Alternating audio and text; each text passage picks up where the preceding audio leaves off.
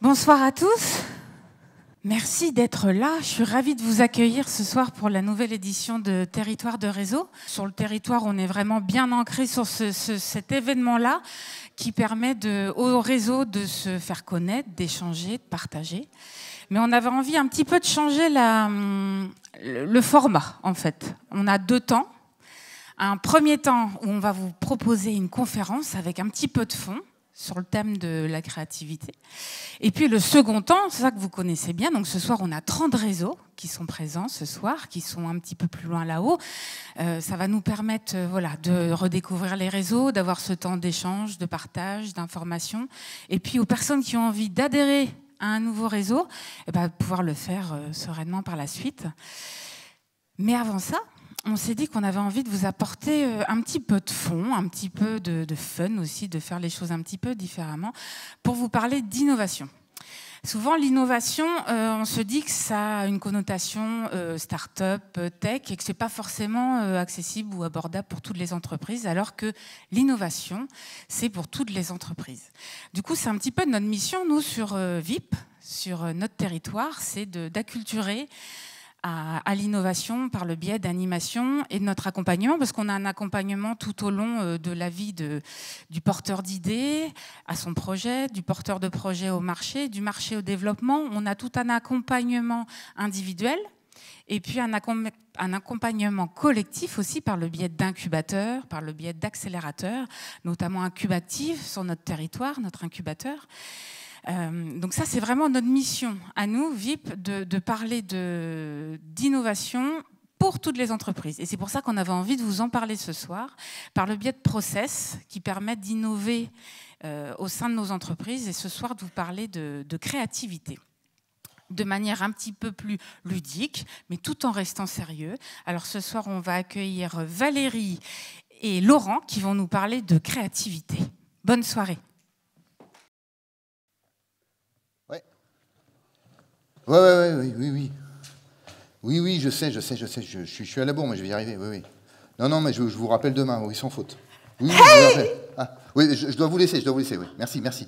Oh, salut Laurent. Eh, je suis trop contente de te voir, ça fait tellement longtemps. Eh, on s'embrasse avec le Covid, là, qu'est-ce qu'on fait ah, allez. Salut Valérie. Ah, je suis trop contente de te voir, et ça faisait tellement longtemps. Merci d'avoir insisté parce que j'arrivais, j'arrivais vraiment pas à prendre le temps. Désolé pour les deux dernières fois où je t'ai fait faux bon à la dernière minute. Oui, bah, Septembre, j'ai décidé que c'était jus d'orange, ok? Ok, c'est bon. Bah, Alors, hé. Ou après, si tu veux, comme tu veux. Et comment ça va, toi? Ça va, ça va. Oh là là, mais c'est un petit ça va T'as des problèmes perso? Non, non, c'est au boulot, là. Au boulot, je m'en sors pas. Bah, tu t'en sors pas d'où? De, partout, de partout. Bon, bah vas-y, raconte. Bah, je sais pas comment c'est pour toi, mais euh, chez moi, là, dans ma boîte, là, c'est le chaos. C'est le chaos. Oh, le chaos, Laurent, mais toujours dans l'exagération. Non, j'exagère pas, c'est vraiment le chaos je te dis, déjà que c'était pas simple, déjà c'est pas simple d'être entrepreneur, hein, mais en plus avec le Covid, la crise, machin, et puis là, que ça repart, bah, c'est hyper compliqué parce que j'ai des problèmes d'effectifs, j'ai plein de postes en, tension, c'est difficile, et puis bah, maintenant j'ai des gros problèmes de délai de livraison avec les fournisseurs, et puis maintenant la flambée de l'énergie, j'ai tous les prix qui montent, enfin je te dis, tu vois, là j'étais encore au téléphone avec un fournisseur, enfin c'est compliqué. Mais justement, t'en as parlé avec tes équipes pour trouver des nouvelles solutions, trouver des idées pour chercher à innover? Innover, innover, là pour moi, ce n'est pas, pas la priorité en ce moment. Et puis avec les équipes, ce n'est pas leur problème, les équipes, c'est à moi de trouver des solutions. Hein. C'est à moi de les aider, c'est à moi d'aller voir les, clients, d'aller voir les fournisseurs, d'aller voir les investisseurs, de, parler un petit peu avec les actionnaires, et puis voilà, c'est à moi de me, débrouiller. Mais au contraire, c'est maintenant, c'est justement le, moment justement de pouvoir échanger ensemble, trouver des solutions innovantes. Euh, oui, réfléchir au monde d'après, réfléchir au monde demain. On n'est plus sur les mêmes modes de pensée, il faut qu'on réfléchisse autrement. Enfin, attends, euh, des méthodes innovantes, le monde d'après, tu vas pas t'y mettre toi non plus. Je te dis, moi je suis paumé, voilà, je suis paumé. Toi, Laurent, tu as perdu ta boussole. Si c'est pour te fiche de moi en plus. Ah mais vas-y, raconte. Non, je te dis, je suis paumé. Enfin, c'est bien entendu que j'essaye de trouver des solutions, bien entendu que j'échange un petit peu avec les équipes, mais euh, ça, part dans tous les sens. Voilà. Dès que j'ouvre la discussion, j'ouvre les vannes, boum, c'est l'inondation, tsunami, et ça part dans tous les sens. Et puis tiens, en parlant du mot sens, là, ce mot sens, ils l'ont à la bouche toute la journée maintenant. Je ne sais pas ce qui leur est arrivé là, mais euh, il faut que je trouve du sens dans mon travail, la vocation, et puis maintenant c'est l'équilibre vie pro, vie perso. Et puis en plus, avec cette crise, là, à croire que tout le monde est devenu écolo, là, je te dis, Chacun veut son truc, chacun veut ses horaires, chacun veut son machin, mais c'est pas la carte, quoi. On est une boîte, on est, on est une équipe et. Euh, ah, je comprends, mais tu vois, moi aussi, dans mon équipe, c'est pas simple. On se pose des questions, justement, sur le sens d'équilibre vie pro, vie perso, mais je trouve que, justement, de se reconnecter à sa créativité, ça permet d'avoir des idées, de, réfléchir autrement, de recréer une dynamique. Enfin, on a besoin de ça en ce moment. Enfin, on ne peut plus continuer comme, comme une autruche, la tête dedans, euh, et, et, pas réfléchir autrement. On ne pourra pas revenir à un mode de fonctionnement comme auparavant. Et donc, l'idée, c'est de pouvoir aussi sortir ces trous du hamster et de trouver de nouvelles solutions sortir la route du hamster, enfin, si tu veux, mais on n'a pas le choix. Enfin, il faut y aller, il faut y aller. Euh, moi, je te, dis, on n'a pas le choix, voilà. Bah, pas le choix, pas le choix. Moi, tu vois, moi, je trouve que j'ai fait le choix. Par rapport à cette situation complexe et ces changements permanents, moi, j'ai fait le choix de ne pas subir, mais d'agir.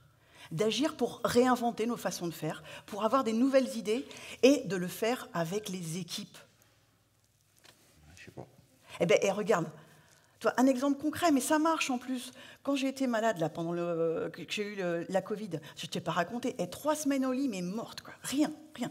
Eh bien, écoute, les équipes, elles ont su faire preuve d'initiative, de créativité. Elles ont juste de passer deux, trois coups de fil, mais quand la confiance est là et que les équipes sont soudées et que leur créativité se met en marche, mais elles ont fait des choses dingues.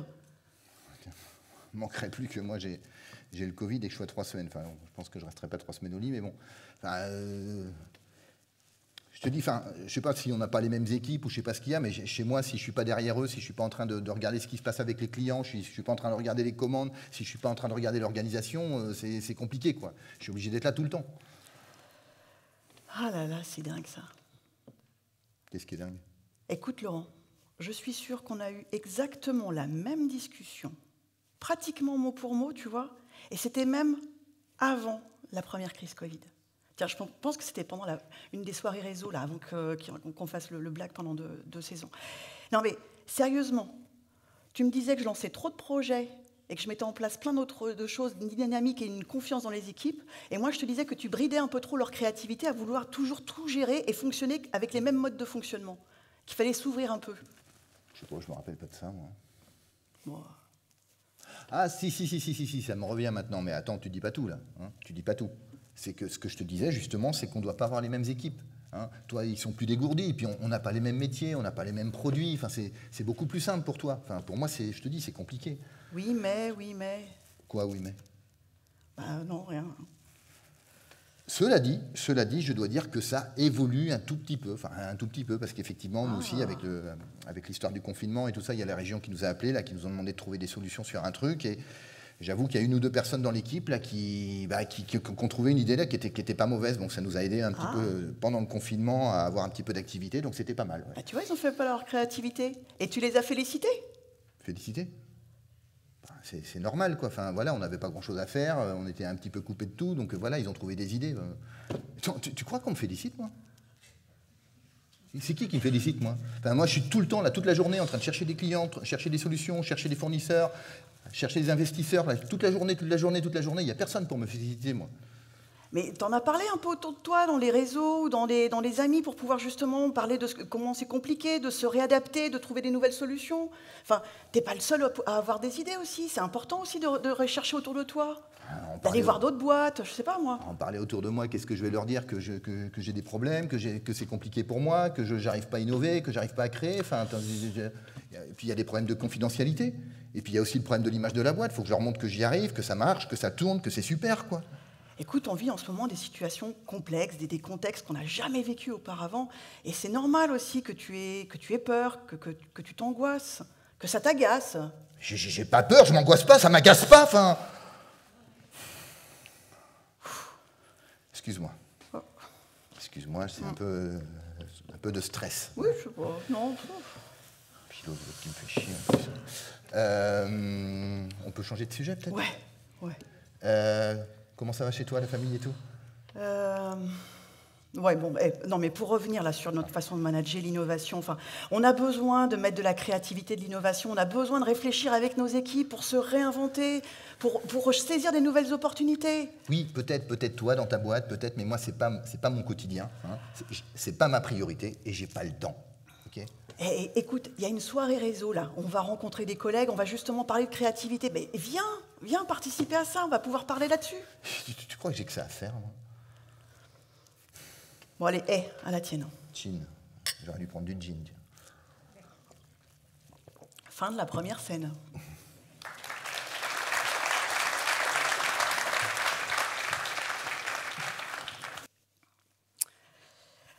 Ouais. Vous, vous avez vu Laurent et, et Valérie? Ils sont passés, vous les avez entendus parler un peu de leur quotidien. Alors je ne sais pas si ça résonne pour vous, euh, cet échange entre deux managers entrepreneurs.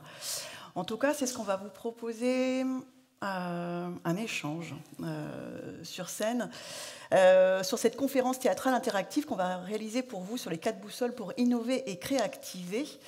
Avant de, de vous présenter la scène 2, c'est de pouvoir vous proposer un temps d'échange entre vous. Entre vous, on va vous proposer de vous mettre par trois. De préférence avec des personnes avec lesquelles vous n'êtes pas venu ce soir et de pouvoir rentrer en contact avec euh, des personnes que vous ne connaissez pas, pouvoir échanger sur tiens, comment est-ce que cette scène résonne par rapport à mon quotidien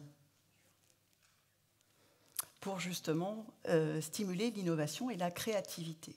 Comment est-ce que ça fait écho sur votre quotidien?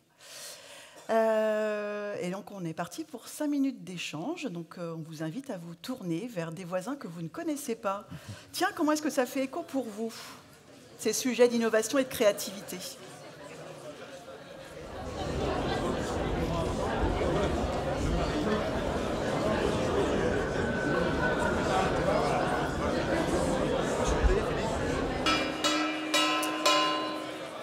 Oyez, oyez On va essayer de vous récupérer.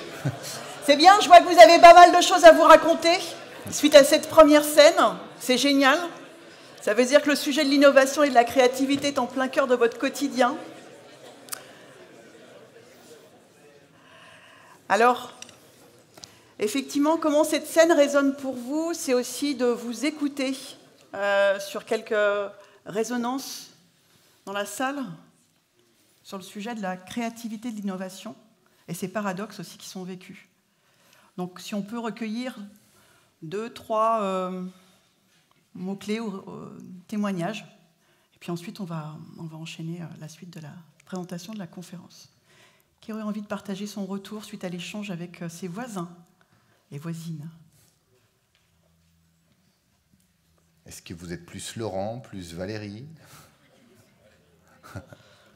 Merci. On peut l'applaudir.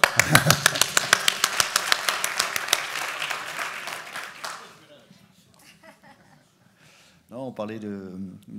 Alors, même si le, profil est, caricatural, euh, ça c'est clair, mais euh, on disait que c'est un profil qu'on peut retrouver dans des plus petites entreprises, hein, euh, où c'est plus difficile de déléguer. mais par contre, ce que tu disais, toi, c'est que quand on est dans des entreprises de recrutement, on s'aperçoit que même dans les grosses entreprises, il y a des cadres ou dirigeants qui qui gardent les manettes surtout et qui forcément délèguent pas, et surtout dans cette situation. Donc euh, voilà. Deuxième point, l'innovation, euh, c'est bien. Euh, et il faut. moi, j'ai toujours prôné l'innovation comme, comme source de développement. Mais ça n'arrive pas tout, tout, de suite du jour au lendemain. Quoi. Donc, il vaut mieux avoir plusieurs idées en tête qu'une seule pour en avoir fait les frais. mais, mais, voilà, c'est l'innovation. Je, je suis intervenu dans des lycées en disant si vous rentrez dans une entreprise qui n'a pas de budget d'innovation, partez vite. Partez vite parce qu'aujourd'hui, la rotation est tellement rapide que euh, des produits euh, qu'il faut, il faut innover, mais, mais au bon moment. Voilà. Merci. Merci pour ce partage. Je voudrais juste rebondir sur ce que dit Fabrice, parce qu'il a parlé des grosses entreprises. Je représente le Crédit Agricole et l'accélérateur, le village BICA, où on est 43 euh, villages BICA. On accompagne actuellement 950 startups. Et c'est ouvert depuis 8 ans peut se dire pourquoi est-ce que le Crédit Agricole a mis ça en place? C'est la première, euh, premier employeur de France et le top 10 dans le top 10 des banques mondiales. Ça roule pour nous. Pourquoi aller sur l'innovation? Parce qu'on peut être bon à un moment et peut-être pas bon tout le temps. Donc c'est de la recherche et développement, tout simplement pour se dire, et s'il y avait des bonnes idées qui ne viennent pas de nous, et un mode de fonctionnement, notamment les, des startups, qui est très différent d'une très très grosse entreprise comme le Crédit Agricole, qui peut-être pourrait nous servir, nous aussi, à être plus rapides, plus efficaces, etc. Et je vois depuis 8 ans des changements au sein d'un très gros groupe qui sont assez impressionnants pour être à l'intérieur. et voir vraiment des méthodes de fonctionnement différentes et des pensées différentes. différentes. Merci. Merci. Bonsoir, moi je retiens écoute, ouverture d'esprit et puis faire attention à l'autre pour pouvoir échanger de façon positive. Merci. Merci. Un autre témoignage?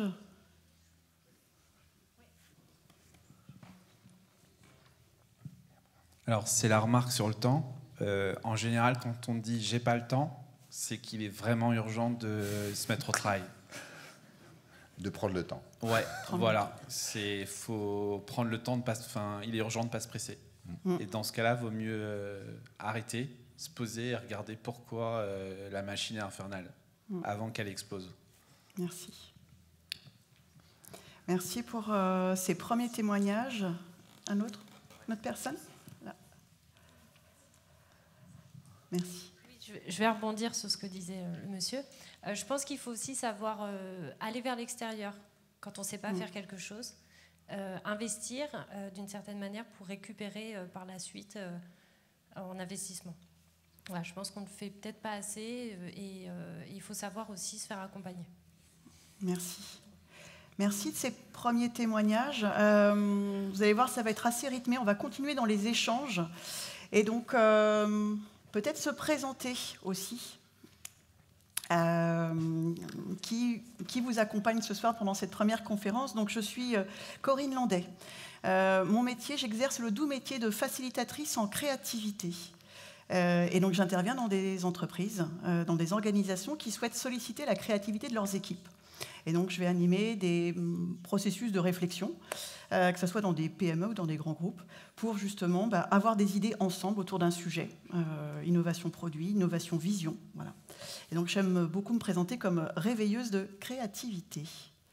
Et donc moi, Christophe Morin, donc moi je suis plus sur euh, tout ce qui est relations humaines, euh, faire en sorte que les gens euh, se comprennent mieux pour mieux travailler ensemble, pour mieux avoir des idées ensemble, comprendre aussi, on en parlera après, qu'on est tous créatifs mais de manière différente, et puis travailler aussi sur la gestion des émotions, le stress et tout ça. Voilà, je peux dire. On a créé ensemble une, une proposition qui s'appelle la puissance du et, qui est de se dire comment animer et manager autrement nos équipes pour aller plus loin. Et donc lorsqu'on intervient, on va utiliser des modes euh, tels que le théâtre ici présent pour, euh, pour se présenter. En tout cas ici, le modèle qu'on va vous présenter autour des boussoles est aussi beaucoup basé sur la notion des paradoxes que l'on vit aussi dans nos quotidiens. Et véritablement, c'est aussi d'être dans cette puissance du et. Alors si moi je me représente, euh, donc bah, d'un côté on a Corinne, l'entrepreneuse, qui a son entreprise qui s'appelle Idein, qui est là pour booster. Et puis de l'autre côté, bah, on a aussi une artiste qui a sa petite cabane, qui aime bien s'isoler, etc. Et tout ça c'est la même personne, c'est Corinne qui est présente ici. Et c'est OK. Et puis dans mon cas, c'est un peu pareil, puisque je suis ingénieur de formation, j'ai été manager dans les télécoms, j'étais très très très cartésien. Et puis à côté de ça, il y a un, clown, il y a un acteur, il y a un musicien. Et, euh, et donc c'est comment on fait du et avec ça, et comment on fait du et aussi ensemble, euh, et comment on aide aussi les personnes à faire du et, parce que la plupart d'entre nous, on a comme ça au moins deux facettes, et comment on les met en- ensemble pour, euh, pour être plus créatif. Donc tout ça, c'était la puissance du et, c'est cette notion effectivement d'associer euh, ces, paradoxes dans nos vies, et c'est super. Et donc l'autre titre qui est apparu dans le titre de cette conférence, c'est Créer, activer et innover. Alors créer, activer, c'est simplement agir avec créativité. Euh, donc créer et agir, mettre une créativité opérationnelle pour pouvoir aller plus loin. Et effectivement, c'est ce qu'on va euh, aussi développer dans cette, dans cette conférence. Conférence interactive, c'est aussi d'écouter des vrais témoignages d'entreprise. Et nous avons la chance de pouvoir maintenant accueillir Camille, qui va nous présenter effectivement donc, un retour d'expérience euh, qui a été vécu.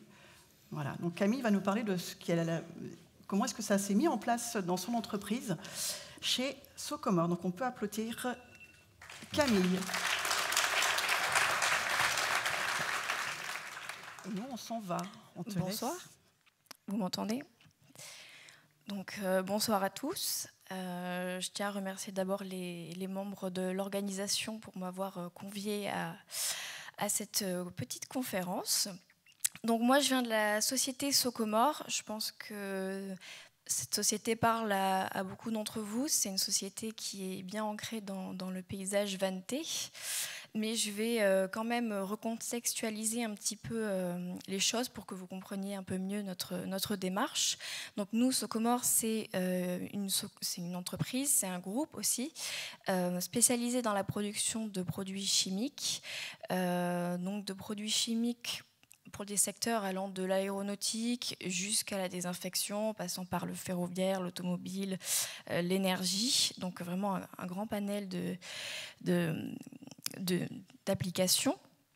Et on, fabrique donc des produits de protection, de traitement de surface, de, revêtement, aussi de désinfection. Donc on a vraiment un, large choix de produits qui sont tous autant complexes les uns que les autres et qui nous euh, donnent aussi beaucoup de fil à retordre. Euh, de ces produits-là, on a des, problématiques qui en découlent pour essayer donc de, faire toujours mieux, de, proposer aux clients quelque chose de, plus appliqué à ce qu'ils recherchent. Et donc, euh, de par la complexité de ces produits et la complexité des problématiques que l'on se donnait, on a euh, voulu essayer de créativer. Donc, c'est euh, avec ce contexte-là qu'on a pu faire entrer dans, notre, dans notre environnement l'entreprise Idein. Euh, avec qui on a pu travailler. Donc, euh, je ne me suis pas présentée, mais euh, je, vais le faire pour que vous puissiez avoir vraiment tout, toute la vision du panorama. Donc, moi, je suis chef de produit packaging. Donc, ce qui est assez paradoxal, c'est que je, je, travaille constamment à améliorer l'impact de nos emballages pour des produits dangereux, donc des matières dangereuses qui nécessitent des emballages assez complexes et parfois très réglementés. Et donc, euh, j'ai eu la chance d'avoir euh, deux rôles euh, dans, notre, dans notre séminaire avec Idein, qui était le premier donc de, jouer le, rôle de, sponsor. Donc, on a fait appel à moi pour justement donner une problématique sur laquelle tous nos, tous nos collaborateurs vont pouvoir travailler. Et j'ai aussi eu la chance d'avoir le rôle de, personnes qui ont dû réfléchir un peu à ces problématiques-là, parce que je n'étais pas le seul sponsor, donc j'ai réfléchi aussi sur une autre problématique. Donc j'ai pu avoir vraiment deux les deux visions de, ce séminaire-là, ce qui était vraiment très intéressant. Et donc du coup, donc, euh, quand on m'a proposé de devenir sponsor, je me suis dit oula, ça va être compliqué parce qu'on euh, on est une entreprise assez euh, dynamique, mais je sais qu'on a énormément de personnes qui viennent d'horizons différents et il va falloir réussir à motiver tout le monde, à les amener dans cette créativité et euh, à essayer un petit peu de leur sortir de leur quotidien pour retrouver des nouvelles idées. Donc c'était assez compliqué au démarrage de, m'imaginer créativer avec l'ensemble des collaborateurs. Et, au final, donc avec IDI, on a réussi à trouver une, une démarche, une méthode qui vont aussi vous, présenter après ça, euh, qui nous a permis de faciliter justement cette innovation. Donc on a pu euh, sortir de notre boîte, sortir de notre quotidien, trouver des nouvelles idées, euh, mais quand même avec une méthodologie qui était vraiment là pour nous faciliter un petit peu les choses, essayer de penser plus librement, mais avec un cadre. Et euh, donc, nous nous sommes lancés justement dans, ce séminaire. Et euh, donc, ce séminaire était vraiment très intéressant. Si je devais faire un, retour euh, et donner mon ressenti d'un point de vue très personnel, donc c'était un séminaire qui nous a beaucoup apporté. C'était vraiment positif. C'est aussi pour ça que je suis là aujourd'hui. C'était pour montrer que ce séminaire était positif et qu'on a réussi à, innover et à imaginer tous ensemble. Euh, et, ce qui était intéressant aussi dans ce, dans ce séminaire, c'est qu'on a pu faire tomber les barrières entre euh, euh, la hiérarchie et euh, les autres collaborateurs. On a pu vraiment tous euh, innover ensemble, réfléchir et ne pas se donner de limites vis-à-vis des personnes avec qui on travaillait. On a vraiment travaillé tous ensemble et on s'est libéré. Et c'était vraiment très intéressant de ce point de vue-là. On en est ressorti enrichi et aujourd'hui j'ai encore des collaborateurs qui viennent me parler de cet événement-là et de me dire à quel point ils étaient heureux de travailler ensemble, de faire des restitutions un peu fun, parce que aussi Idein, c'est pas que euh, de la créativité, c'est aussi euh, du fun. On a beaucoup rigolé. Euh, on était vraiment tous en, cohésion pendant ces deux jours. Et puis, euh, ça ne s'est pas arrêté là, parce que souvent, on lance un petit peu une séance d'innovation, et puis ça s'arrête là, on, les idées émergent, et puis on, ne les pousse pas jusqu'au bout. Et ce qui a été intéressant ici, c'est qu'on on, s'est donné l'objectif de ne pas s'arrêter là. On a continué les échanges, on a échangé encore avec Corinne il y a de ça quelques, quelques, plusieurs semaines, on va dire, avant l'été. Avant et euh, pour justement euh, se demander comment on allait euh, poursuivre ça. Et on s'est donné une seconde méthodologie pour justement poursuivre euh, la créativité et, l'appliquer vraiment euh, sur notre terrain. Et, euh, et ça a fonctionné aujourd'hui avec les, les, deux autres sponsors avec qui j'ai pu travailler. On a continué justement à faire ce travail d'innovation. On a récupéré toutes les idées et toutes les pépites de nos collaborateurs et on va les amener jusqu'à leur aboutissement. Ce qui aujourd'hui nous tient vraiment à cœur parce qu'au moins on, on montrera aux collaborateurs comment on a pris leur idées, on les a euh, poussées jusqu'au bout, on les a fait euh, s'élever, et puis euh, comment ils vont pouvoir se sentir utiles chacun dans l'entreprise. Euh, et, donc aujourd'hui, voilà, on en est euh, là où on en est. On poursuit nos projets. On a euh, déjà tout présenté au niveau de, notre hiérarchie qui nous a donné des go, des no-go, des pistes d'amélioration. Et on est très heureux d'avoir fait cette expérience-là et de, la mener au, point où on en est aujourd'hui. Donc je remercie Idéine pour pour ces échanges-là, pour nous avoir poussé à, penser autrement.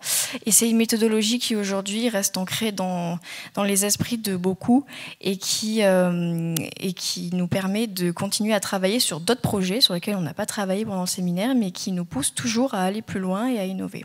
Donc merci à eux et merci à tous de, de m'avoir écouté.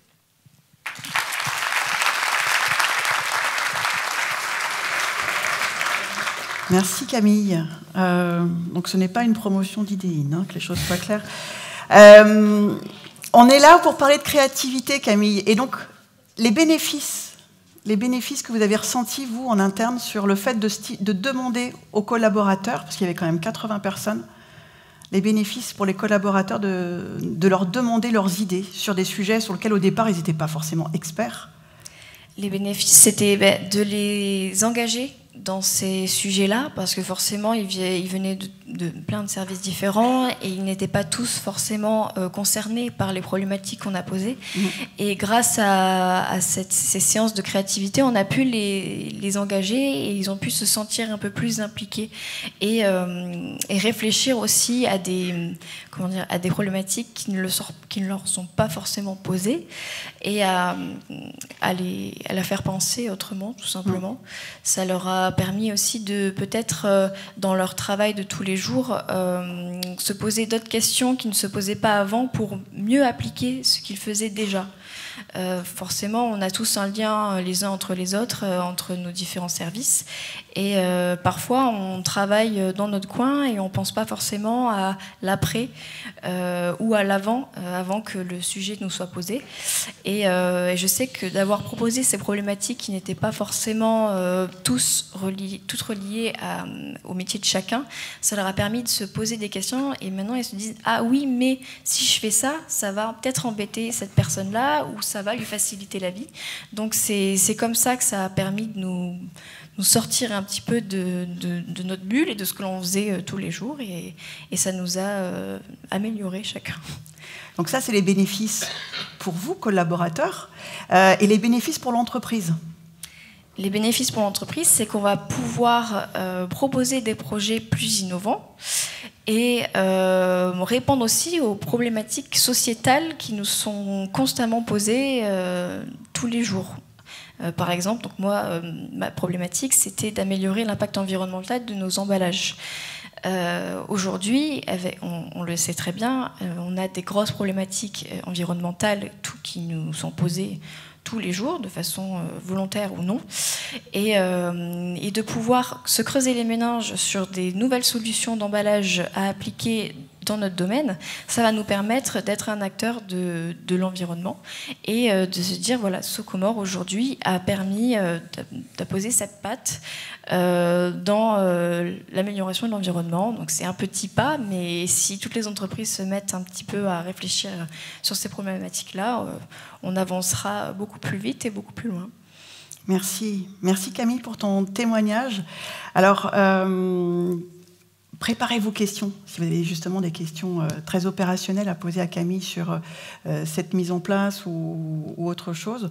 On aura un temps euh, en fin de conférence où Camille viendra avec nous pour aussi répondre aux questions que vous vous posez. Et, parce qu'on n'a pas, nous, la science infuse. Et donc, on a des très beaux retours d'expérience donc, à partager aussi sur, sur le quotidien. Euh, eh bien maintenant, on va aussi retrouver peut-être euh, Laurent et Valérie euh, pour, pour parler aussi de comment justement mettre en place cette créativité, cette innovation. Et donc, bah, on, va, on va dans un instant accueillir Laurent et Valérie qui reviennent sur scène. À tout de suite.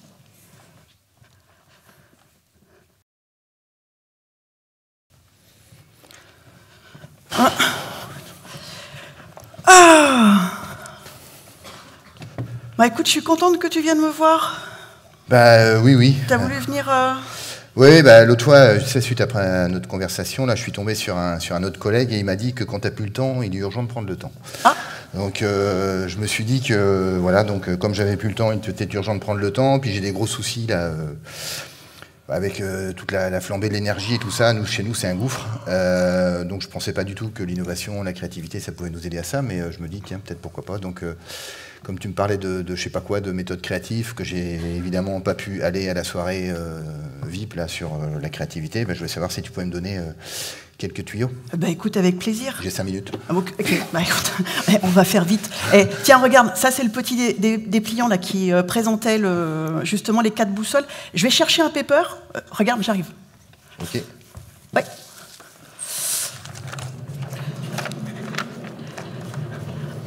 C'est c'est de partager avec toi effectivement tout, ça. Alors, euh, bah écoute, on va parler de créativité. Ok. Alors, redonner une définition déjà très simple. Créativité, c'est l'aptitude à avoir des idées nouvelles en fonction d'un contexte donné. Bon, ok, en ce moment, les situations, elles sont un peu complexes, hein. euh, mais c'est vraiment avoir des idées pour aller plus loin. Ok. C'est bon? Oui, ce que j'ai compris, c'est ça, c'est qu'en fait, c'est pas uniquement pour euh, moi, pour moi, euh, créativité, innovation, c'était service R&D. Hein, mais, euh, Eh bien non. Aujourd'hui, la créativité, c'est le fait effectivement de solliciter un autre cerveau pour pouvoir aller plus loin. Et l'innovation, elle s'applique partout. Elle n'est pas réservée à l'innovation de produits. Elle n'est pas réservée aux start-up. C'est l'affaire de tous. C'est l'affaire de tous et de toutes les entreprises historiquement, les anciennes, les nouvelles, il n'y a pas de. On a besoin. Le contexte change tellement qu'on a besoin de créativité et d'innovation en permanence. Créativité pour pouvoir euh, développer son attractivité, développer pour pouvoir recruter, développer pour trouver des nouveaux produits, des, des créativités pour revoir son organisation trouver des idées et le faire ensemble, le faire ensemble avec les équipes parce que ça crée de la cohésion, ça crée de l'engagement et de l'implication. Et créativité pour trouver du temps aussi euh, Ah bon, on va voir tout ça. Euh, alors la première chose euh, que j'ai trouvé super intéressante aussi lorsque j'ai vu la conférence, c'est de comprendre aussi le processus créatif. Ce créativité, je sais pas, on te l'a enseigné toi à l'école la créativité? Non. C'est donné comme pas fait tous les cours. Eh ben ouais. C'est donné comme étant la troisième compétence attendue lors du dernier forum mondial. Et la troisième compétence, et c'est pas enseigné, c'est pas expliqué. Donc peut-être réexpliquer déjà le processus créatif. Bah, créativité, c'est simple. Hein. Tu prends des post-it, tu écris des idées, puis c'est bon. Hein. ben oui et non. D'accord. Ok. Bon, bah, j'écoute, j'écoute, j'écoute. Tu as déjà fait des brainstorms? Oui, oui, euh, des post-it, on en a collé partout, et puis euh, je ne sais même pas si on en a appliqué. Donc, euh.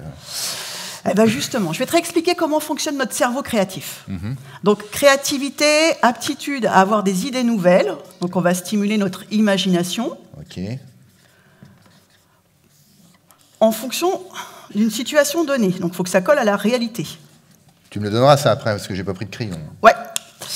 Et donc, quand tu réfléchis de façon classique, tu dis ouais, on pourrait avoir des idées, oui, mais on n'a pas le temps, on n'a pas le budget. Hop, un petit saut de puce. Ok? Comprendre notre cerveau créatif, comment est-ce que notre cerveau se met en marche pour avoir des idées, c'est un processus, en fin de compte, c'est un peu comme le saut en hauteur. Si tu veux aller loin, bah, tu prends du recul. Et la première étape, quand on est dans un processus créatif, c'est d'explorer. Explorer, c'est de savoir poser les questions sur un sujet. Souvent, lorsqu'on fait appel à sa créativité, c'est c'est bon, j'ai une idée, je fonce. Ouh C'est prendre le temps de se poser des questions. Pourquoi on le fait? C'est quoi l'histoire? C'est quoi la concurrence? C'est quoi les autres produits? Trouver un objectif. Et tout ça, ça va nous aider après pour mieux partir. Cette phase-là, elle est super importante. C'est une phase de questionnement, la puissance des questions. Et ça va nous permettre de mieux partir ensuite dans l'imaginaire. Ça, c'est la phase 2 qui s'appelle imaginer. Imaginer, c'est ouvrir le champ des possibles, c'est sortir, on dit souvent on le positionne comme ça, c'est sortir de l'autoroute des pensées pour prendre les chemins de traverse. Et bien là, effectivement, on est dans la petite ampoule, c'est faire appel à son imagination et de pouvoir, avec des brainstorms, différentes idées, monter dans l'imaginaire. Ok, oui, si, si, je suis jusqu'à présent. C'est bon. Et puis Donc, en gros, attention. on n'imagine pas tant qu'on n'a pas exploré, c'est ça ton truc quoi. Ouais. Ok. Et donc, attention, parce que lorsqu'on imagine, c'est un peu perché, c'est un peu loin, c'est un peu nébulé. Comme disait Einstein, une bonne idée est toujours saugrenue au départ. D'accord? Donc, ce qu'il faut, effectivement, c'est pas redescendre trop vite à la réalité, parce qu'on ne sera pas forcément plus efficient. Et il y a une troisième étape quand on est dans ces processus créatifs qui va être de développer. Développer, c'est chercher à améliorer ses idées pour progressivement revenir à la réalité chercher à chercher à faire le plus et le moins, chercher à développer en fin de compte quelque chose de mieux abouti, toujours en étant créatif, avec un comment faire pour pour chercher à améliorer. Ok. Ça te parle ça? Oui, oui, je comprends. Bah, ce que je vois, c'est que oui, c'est vrai qu'effectivement, nous on avait fait des séances post-it. En gros, on était qu'au milieu, quoi. C'est ça. Eh bien oui, souvent moi on me situe le brainstorming, ça se situe là. Bah ok, super, on monte dans l'imaginaire. Et dites n'importe quoi, allez-y. Bah oui, mais on en fait quoi? Et pourquoi on le fait? Donc c'est aussi de donner effectivement toutes ces étapes-là. Quand tu accueilles les personnes et que tu leur demandes leur- leur- leurs idées, c'est aussi de leur donner des éléments de contexte pour qu'ils puissent comprendre pourquoi qu'ils doivent chercher des idées et jusqu'où ils peuvent aller. Et en même temps, après, c'est aussi de chercher à améliorer pour que ça puisse revenir tranquillement à la réalité.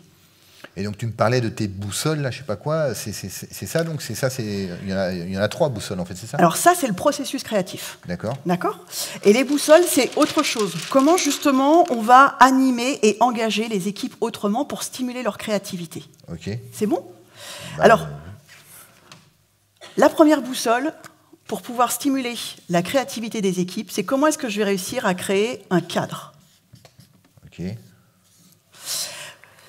La créativité fonctionne s'il y a un objectif. S'il n'y a pas un objectif clair, c'est difficile. La notion dites ce que vous voulez, j'ai donné carte blanche à mes équipes, ça ne fonctionne pas. Une équipe a besoin de savoir dans quelle direction on cherche les idées. Et donc on a besoin d'un cadre, un cadre qui soit clair pour pouvoir faire des séances. Euh, autrement, on a des sujets qui sont trop nébuleux. C'est euh, chercher des solutions pour faire changer le monde. Ok, mais jusqu'où on va? Voilà. Donc donner un cadre. Ensuite, c'est utiliser des outils et des méthodos pour pouvoir accompagner ces réflexions. Ça, c'est indispensable. hein. Et puis, ensuite, c'est aussi fixer des règles du jeu.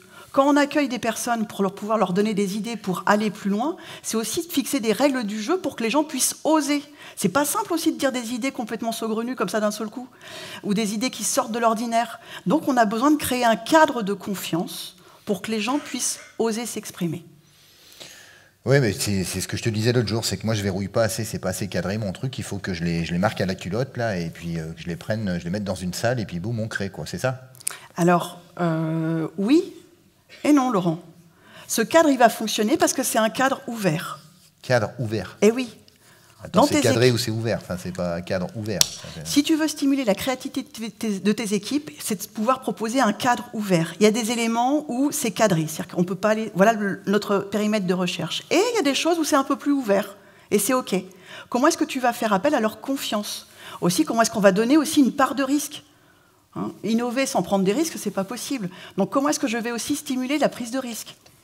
J'avoue que j'ai un petit peu de mal à te suivre sur la notion de cadre ouvert, mais bon, c'est sans doute mon logiciel qui est pas à jour, c'est ça? On a besoin d'agilité. Ok, donc c'est quoi? C'est trouver un curseur? C'est quoi? Exactement, c'est un curseur, effectivement. Donc, d'un côté, je cadre, je donne des objectifs clairs, et en même temps, je vais laisser la liberté d'agir dans ce comment. Et du coup, avec mes équipes, je fais comment moi? Je, je les cadre, je ouvre, je c'est ça. Je... Eh ben, peut-être qu'au début, tu vas leur donner un sujet de recherche qui va être assez précis. Ils vont pouvoir donner des idées, et puis plus ils vont grandir, plus tu vas pouvoir ouvrir ce cadre de recherche. Mais ils ont besoin d'un cadre au départ, un cadre constructif. Donc ça, c'est la première boussole qui t'ont présenté, c'est ça? Ouais, exact. Et ça, vous le mettez en application Ouais. Deuxième chose, c'est comment est-ce que... Parce qu'autrement, ça part dans tous les sens. Et on a besoin effectivement d'avoir d'orientation.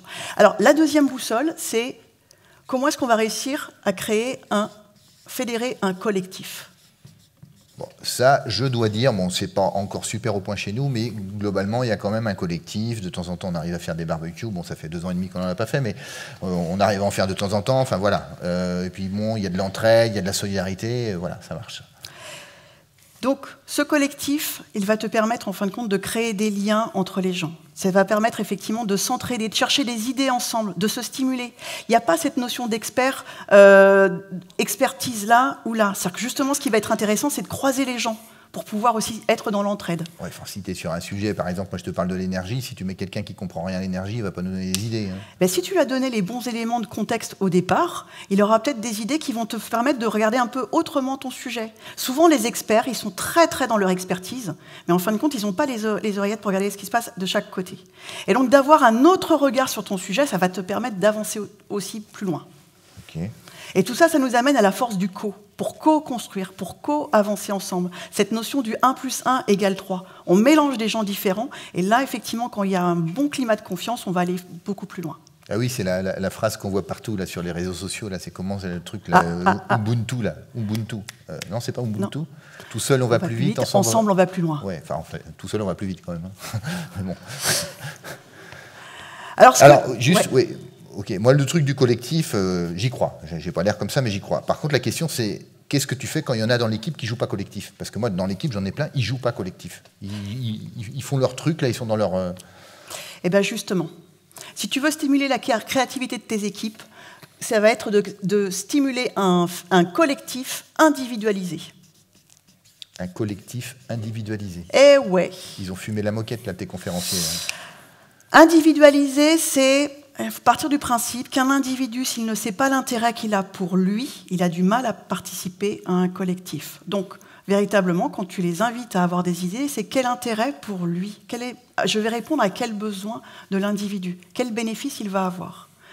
Ensuite, dans cette notion de l'individu, c'est comment est-ce que tu offres aussi une reconnaissance.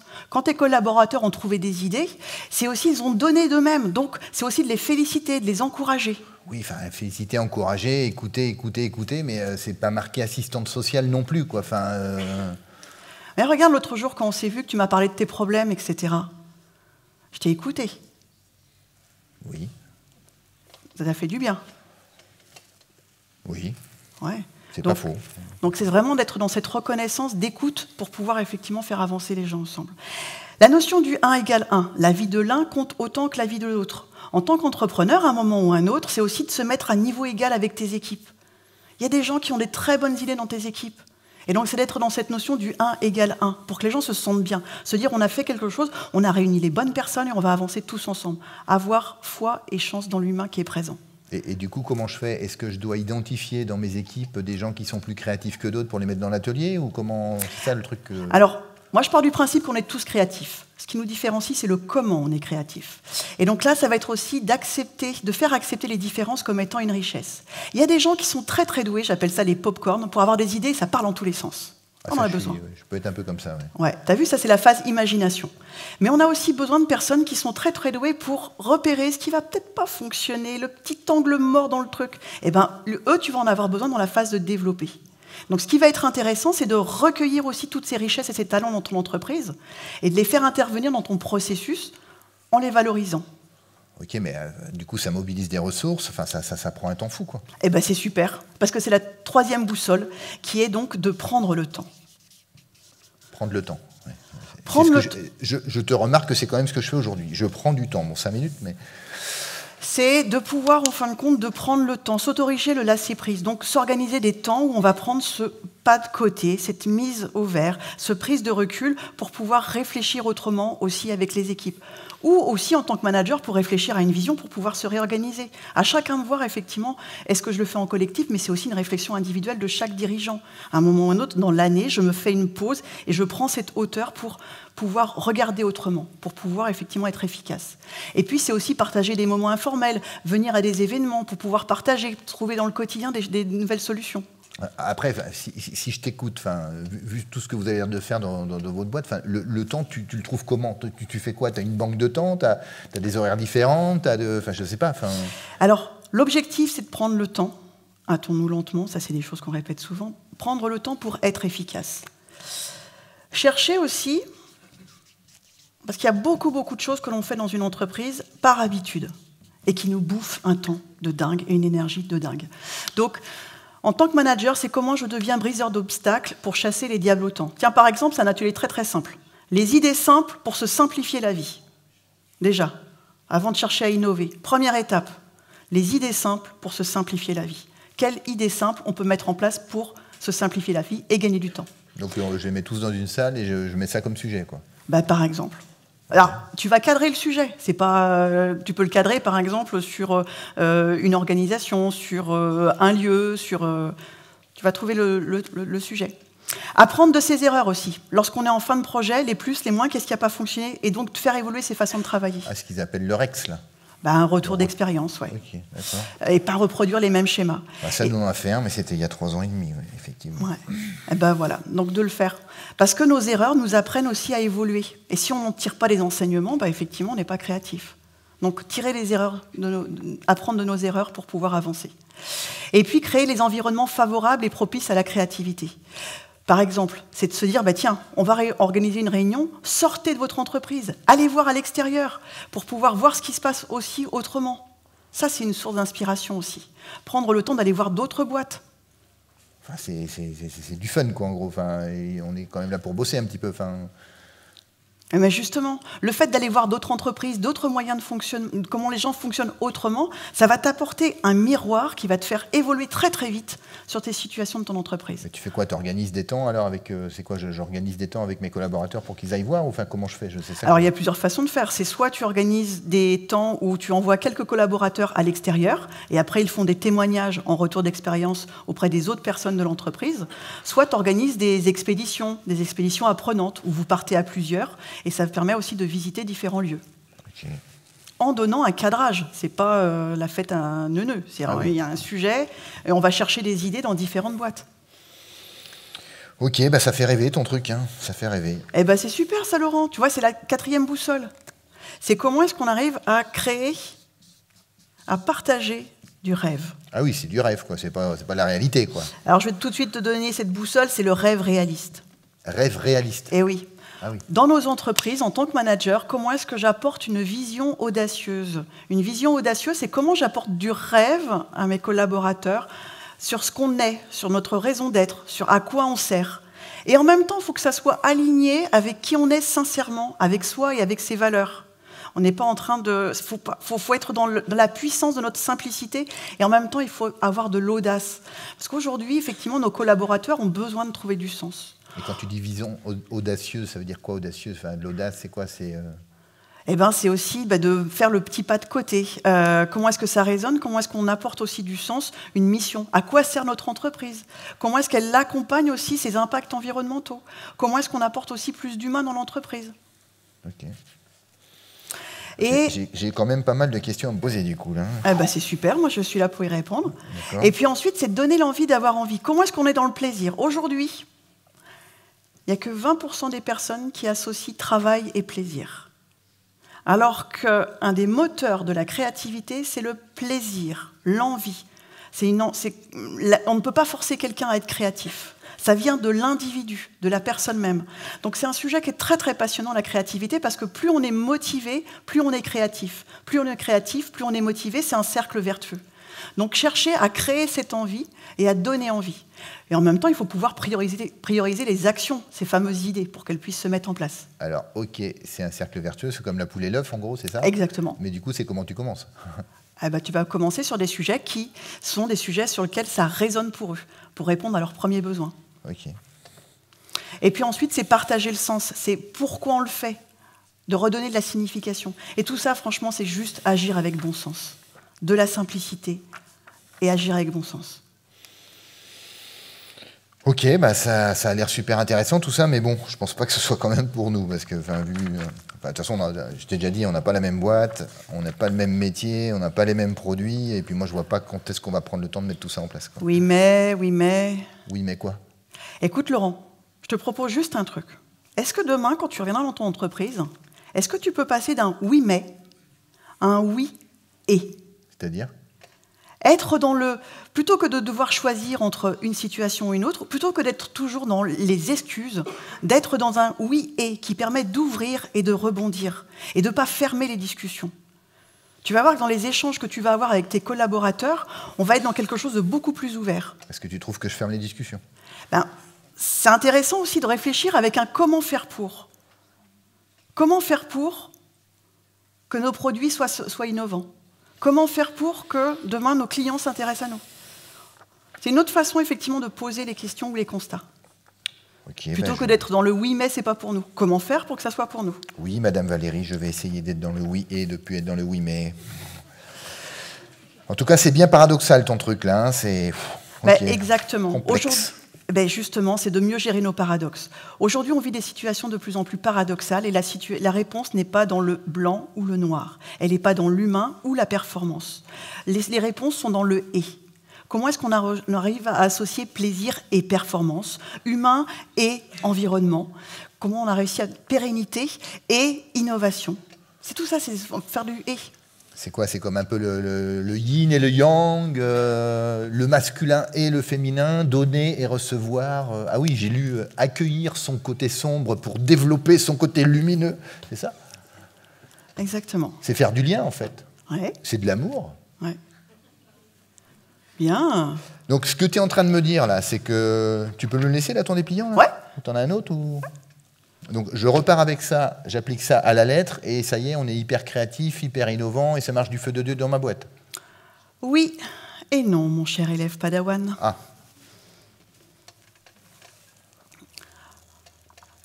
La voie du et tu expérimenteras. Tes boussoles tu trouveras. Va, que la puissance du et soit avec toi.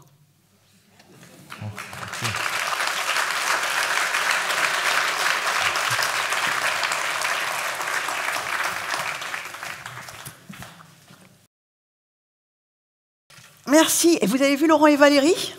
Ils vous ont expliqué un peu le principe des, quatre boussoles qui notent des repères.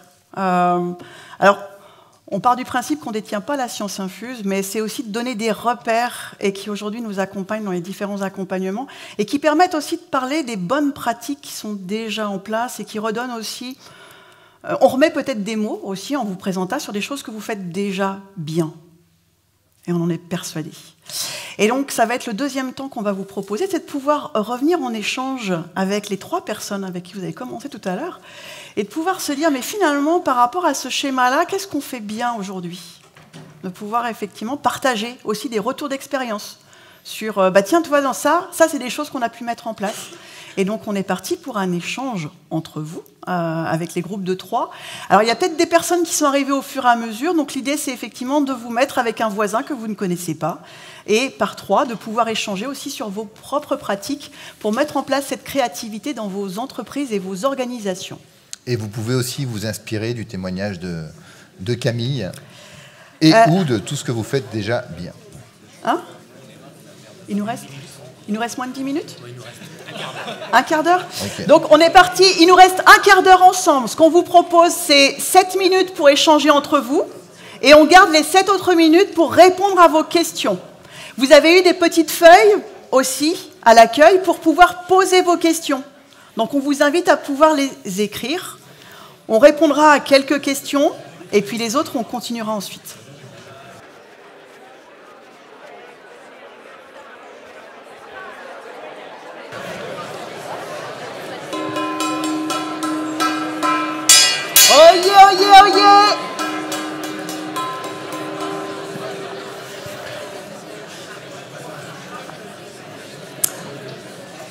Alors, on, va, on va vous frustrer un petit peu.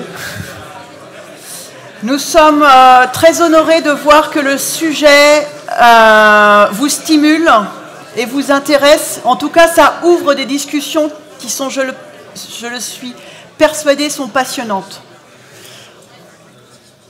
J'ai commencé il y a 10 ans sur ce sujet de créativité en entreprise, de parler de management. Il y a 10 ans, on me prenait pour une dingue. Aujourd'hui, ça devient une évidence. Quand j'entends l'énergie qui se dégage de vos échanges, j'en suis, euh, totalement euh, persuadée. Alors, on vous invite, vous avez eu à l'accueil des petites feuilles pour pouvoir noter vos questions. Donc, on va proposer à des personnes de pouvoir poser leurs questions, on va y répondre. Et en même temps, vous êtes venus pour une soirée réseau, donc on ne va pas pouvoir passer une heure à répondre à des questions. C'est pour ça qu'on a trouvé cette idée euh, avec VIP, c'est de pouvoir collecter vos questions. Donc on va répondre aux premières questions ce soir, mais on se fait un honneur de pouvoir y répondre dans la prochaine newsletter. Euh, le VIP apportera des réponses, des clés de compréhension sur justement créativité et innovation.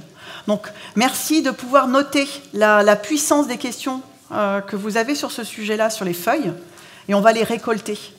Et hum, pourrez y répondre par la suite. Alors, qui aurait une première question? À nous poser avec, euh, Alors, Camille, tu restes là ou tu viens avec nous sur scène? Hein? Avec, un, avec un micro pour toi, parce que nous, on, triche. Oui. Bonjour Valérie, bonjour, Laurent. On s'est posé la question tous les deux. Euh, euh, un petit rappel à l'Assemblée, mais 92% du tissu économique breton, c'est moins de 10 salariés. Mm. Donc elles n'ont pas toutes, euh, Fabrice, un budget innovation. Elles auront du mal à recruter des jeunes apparemment. Comment on fait euh, pour ce tissu économique de moins de 10 qui n'a pas des interservices, qui est très agile par rapport à un gros groupe? On nous a présenté Socomore, et une PME de 30 personnes, parce qu'à un moment de temps, mon, mon collègue me disait, euh, après 100, enfin quand on est dans un grand groupe, là ça commence à moins parler en fait, parce qu'il y a beaucoup trop de services. Quoi. Mm. Donc première, pour les TPE, les, la créativité dans une TPE de moins de 10 salariés et une, moyenne en fait. Bien sûr. Euh, et aujourd'hui, c'est véritablement... Merci pour cette question.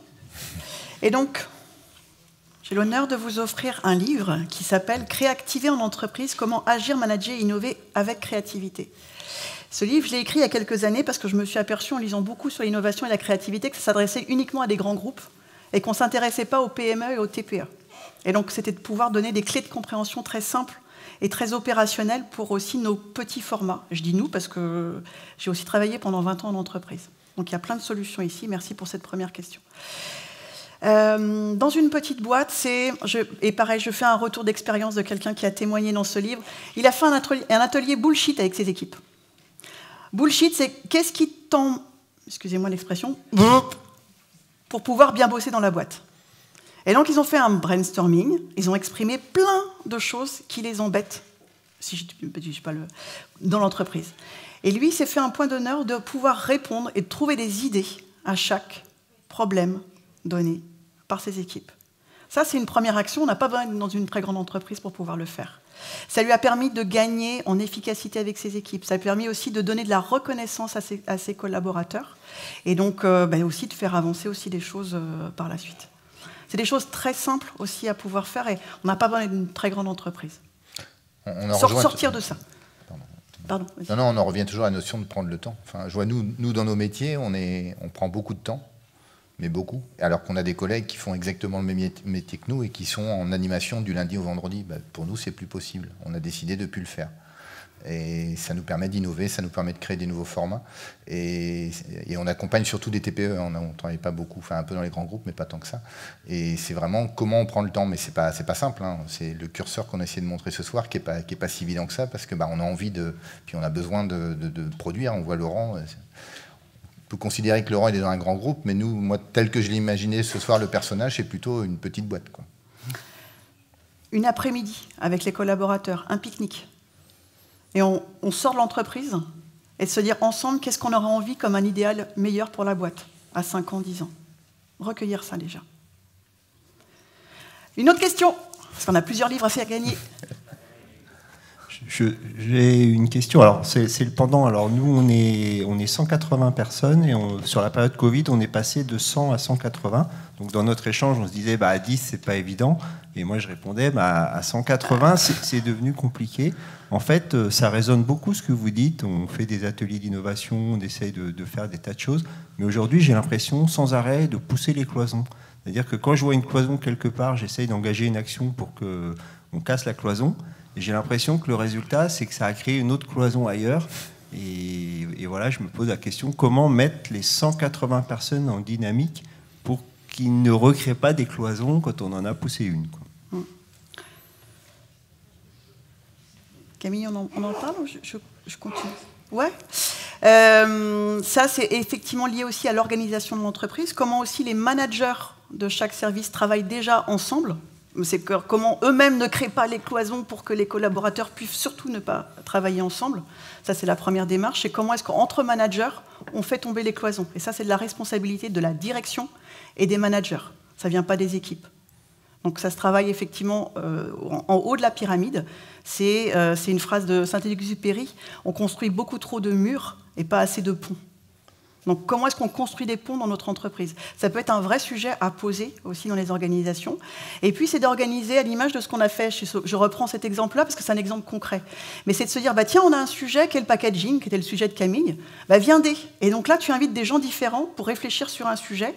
Et euh, bah, après, ça crée des interconnexions entre les gens pour pouvoir effectivement euh, euh, bah, mieux connaître les métiers des uns et des autres.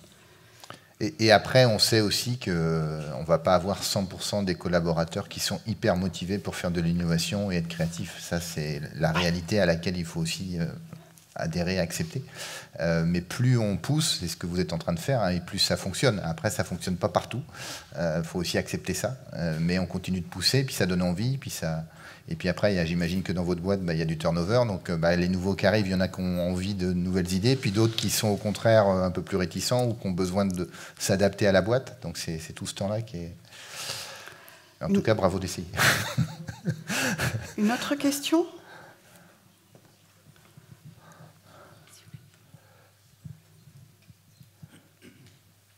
Euh, alors, moi, je le répète, je suis une petite société, hein, j'ai une salariée, euh, mais par contre, j'ai beaucoup d'actionnaires et j'ai créé un comité stratégique avec des industriels, je suis dans, l'audit euh, des entreprises. et à chaque fois, j'essaye de réunir à minima deux fois mon, comité stratégie par an, donc industriel, actionnaire, consultant de ma société. Et si j'amène pas de sujet sur la table, ah, c'est un peu idiot, parce que c'est toujours, toujours moi qui amène les sujets sur la table, bah, le comité stratégique dit c'est bien Fabrice, on est content de ton travail, mais... Euh, et moi, ça ne me suffit pas, et j'aimerais savoir comment, comment les booster quoi, par anticipation, et de dire, c'est eux qui sont sur le terrain, c'est eux qui devraient m'apporter plus de, de, de, matière grise, de matière à réflexion. Et ils se contentent de... alors peut-être que j'amène beaucoup d'idées sur la table, mais moi, ça ne me va pas. Quoi. Et j'aimerais bien savoir comment les, comment les booster, que ce soit... Si j'ai un comité stratégique, c'est pour qu'ils qu m'aident quelque part, et pas, et pas que ce soit encore une fois comme comme le jeune homme en face de moi, à dire ah bon, c'est pas la peine. Euh, donc ça peut être aussi de les. Je compte. Vas-y, vas-y. Euh, ça peut être aussi de leur proposer euh, dans cinq ans, notre vision sera réussie si. Si quoi Cette notion de critère de réussite. Vers quoi est-ce qu'on veut tendre à cinq ans? Les amener en fin de compte sur une réflexion de, de vision, d'un monde idéal, entre guillemets, euh, pour vous tendre, pour vous challenger effectivement sur cette, euh, sur cette euh, perception-là. C'est aussi de, leur représenter la, construction d'un projet d'entreprise au service de, au service de quoi? Là, dernièrement, on a travaillé aussi avec une entreprise sur c'est quoi, d'après vous, les tendances clés qui vont nous impacter à moyen ou à long terme dans notre entreprise? De recueillir déjà, eux, leurs témoignages. Et ensuite, de faire avec eux des scénarios. Donc, premier temps, ils recueillent, recueilleraient les, tendances clés. Et après, de se dire, à partir de ça, et si? Ça pourrait être quoi nos scénarios, sans prendre de décision, possibles? Et après, de leur demander dans ces scénarios, ce qu'on appelle disruptifs, lequel vous avez besoin, envie que je bosse, moi, dans ma direction.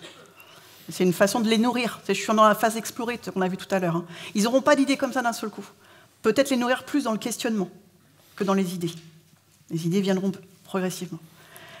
Et puis après, vous l'avez peut-être déjà fait, mais c'est aussi euh, c'est bah, la prochaine réunion, c'est les prévenir avant que c'est pas vous qui allez alimenter, puis vous attendez. C'est vrai, et ça. Il ne faut pas les prendre. Alors, deux dernières questions. Il dernière, manger. La dernière. Deux dernières questions. Et j'aimerais une belle parité avec des femmes qui s'expriment et qui prennent la parole. Ah. ah. Désolé, je vais me raser. Ah ouais. C'est une question. Je, je, donc j'ai repéré la question. Oui, mais c'est pas celle-là. Ah mince. Quand on est, une TPE... Est-ce qu'on peut se voir après et j'y réponds et j'aimerais une prise de parole de femmes pour qu'on ait une parité. Je changeais On a besoin, l'avenir sera aussi sur un équilibre homme-femme, 1 égale 1, et donc j'aimerais effectivement avoir des questions euh, des femmes qui sont dans une puissance créatrice. La dernière question Merci. A priori. Bonsoir. Euh, donc vous parlez euh, dans les diapositives de partager la confiance. Je voudrais vous poser la question comment créer et garder la confiance en toute sécurité lorsqu'il y a des, relations hiérarchiques dans l'entreprise? Il y a toujours des relations hiérarchiques dans l'entreprise. Tout dépend de quelle qualité de relations hiérarchiques on a aujourd'hui dans l'entreprise. Oui, mais du coup, le point de départ, c'est partager la confiance. Et moi, je, voilà, j'aimerais savoir comment, comment, vous, comment on s'y prend, comment on envisage ça. Euh, voilà, si... Alors, il y, y, a des. Il y a des processus. Alors, nous, c'est toujours plus facile, hein, parce que quand on est intervenant extérieur, c'est toujours plus simple que des intervenants intérieurs, mais il y a, il y a des processus d'échange, de, de, discussion, qui permettent, notamment, moi j'utilise un outil qui s'appelle le, le, circuit confiance, qui qui font qu'à chaque fois qu'on anime des, séances, des ateliers, euh, euh, la confiance est créée. Et souvent, on a ce retour-là. Euh, je l'ai encore eu ce week-end. Il y, a plein de bienveillance, y a plein, mais en fait, c'est pas par hasard. Il y a des processus. On va faire ce qu'on appelle, par exemple, une, météo. On va demander à chacun leur ressenti sur quelque chose. On va poser un cadre. On va faire en sorte que chacun s'exprime. On va faire un cercle de parole. Enfin, nous, moi, il n'y a pas une. Enfin, et c'est Corinne, c'est pareil. Il n'y a pas une intervention dans laquelle il n'y a pas un cercle de parole. C'est pas un débat il y a une, femme dont j'ai perdu le nom qui dit il ne peut pas y avoir débat tant qu'il n'y a pas eu de cercle de parole. On ne peut pas faire de triangle de débat tant qu'il n'y a pas eu de cercle de parole. Tout ça, c'est des processus qui participent à créer la confiance, l'écoute.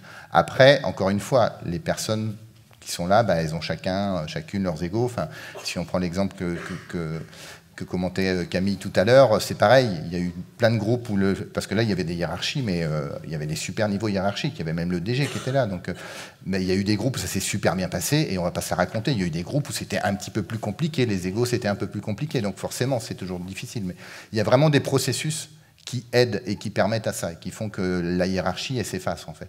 Ou en tout cas, c'est de dire que sur ce temps-là, elle s'efface. Après, la hiérarchie est aussi là pour prendre des décisions, pour arbitrer, il faut respecter ça aussi, après coup. Je ne sais pas si ça répond, hein, mais... Euh. Merci. Merci.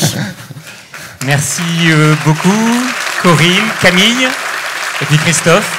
Voilà, ils nous ont accompagnés pour euh, préparer cette soirée-là, donc merci à vous trois. Merci. Merci à l'équipe aussi, Elodie, Sophie, toute l'équipe d'avoir préparé aussi cette soirée. Pour ceux qui ont des questions, bah, il y a des petits bouts de papier. Vous pouvez écrire vos questions, les mettre dans l'urne qui est en, haut, juste en sortant. Et puis voilà, maintenant c'est le deuxième moment euh, qui commence. Donc euh, on se retrouve euh, au premier étage. Il y, a le, il y a un petit programme. donc vous pouvez vous inscrire. Normalement, il y a un QR code qui va s'afficher. Alors, il y a un QR code. Et puis aussi, pour aller plus loin, pour aller plus loin, donc il y a le, petit QR code pour avoir le téléchargement du document qui, aussi, qui peut être un outil d'échange aussi euh, euh, en interne pour vous. Et pour aller plus loin, donc, euh, on organise un prochain atelier avec VIP le 9 novembre de 9h à 11h. 9 novembre, 9h, 11h.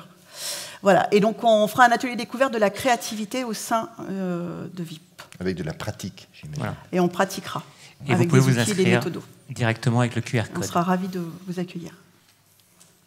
Puis voilà, maintenant c'est le moment de, se retrouver au premier étage euh, avec euh, le salon des réseaux. Voilà, bonne soirée. Merci beaucoup.